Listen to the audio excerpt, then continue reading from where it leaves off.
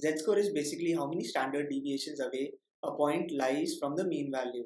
We can use Z-score to detect outliers and in this video I'll show you how you can do that using pandas or Python. I hope you enjoy it.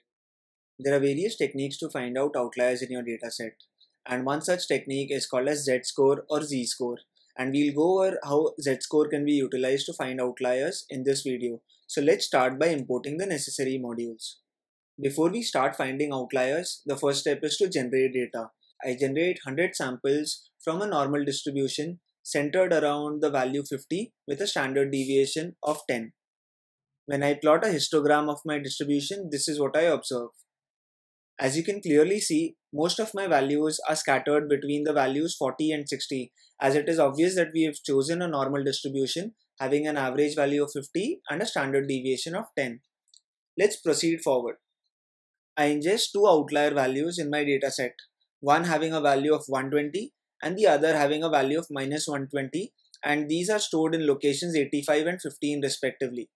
So I run the cell and after running the cell I create a data frame out of the distribution that I had. The next thing that I do is I calculate the z-score. Now the way a z-score is calculated is you take your actual value or the row value subtract the mean value of that column from that row value and divide it by the total standard deviation of that column. Since I have just one column, you don't need a for loop for this, but I've kept it generic so that you can utilize it for multiple columns in your data sets. So essentially what I'm doing here is I'm creating a new column in my data frame, which would be called data underscore z score, where I take the row value and I subtract that column's mean from that row value and divide it by the standard deviation of that column and I run the cell. Z-score is essentially how many standard deviations away is my actual value from the mean value. Based on the business context, you can define the threshold value for the Z-score to classify a point as an outlier or not.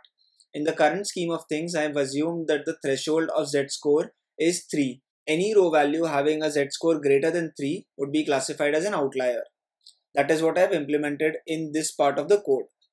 So let's run this cell and let's again visualize the data frame that I have. So again, as you can clearly see, now I have a total of three columns in my data frame. I have the actual data column, I have the data underscore z score column, and I have an outlier column as well. Let's find out the rows that my z score has classified as outliers. So as you can clearly see, the two points that we ingested or the two outlier points that we ingested having values of minus 120 and 120 have been flagged off as an outlier.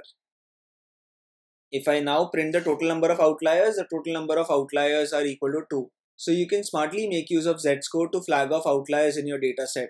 Outlier detection and removal is a very important part of the machine learning workflow. Whenever you build models, it's highly advisable that you treat outliers before you create models. So this was my attempt at creating a simple tutorial revolving around how you can use z-score to find out outliers in your dataset and remove the outliers once you've detected them. I hope you found the video informative. If you do have any questions with what we covered in this video then feel free to ask in the comment section below and I'll do my best to answer those. If you enjoy these tutorials and would like to support them then the easiest way is to simply like the video and give it a thumbs up and also it's a huge help to share these videos with anyone whom you think would find them useful. Please consider clicking the subscribe button to be notified for future videos and thank you so much for watching the video.